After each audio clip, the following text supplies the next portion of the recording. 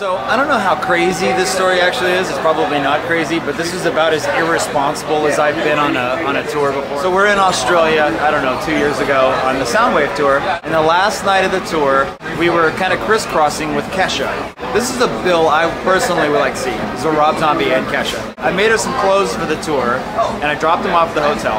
I hadn't seen the show yet. So the last night of the tour, I literally walked off the stage. We were, I think we were in Perth. I walked off the stage in my tights, banana in the front, not the back, banana in the front.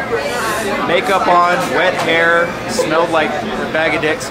I got right in a right in a van and went to place to, to get a cab, and I took a cab about 45 minutes away to pick up my tickets for the Kesha show, which had already started. I walked in, watched five songs of Kesha, and then realized I'm going to miss my flight, which left in an hour and a half. So another long trip back. I didn't shower. I didn't bathe. I didn't bathe at all. I didn't even. I don't even think I changed clothes. I think I put my jeans on over my tights, look cool. I mean, they're skeleton ones, the Black Milk Australia technology. So anyway, I just put jeans on over the tights. Didn't really wipe off the makeup and got right on the plane.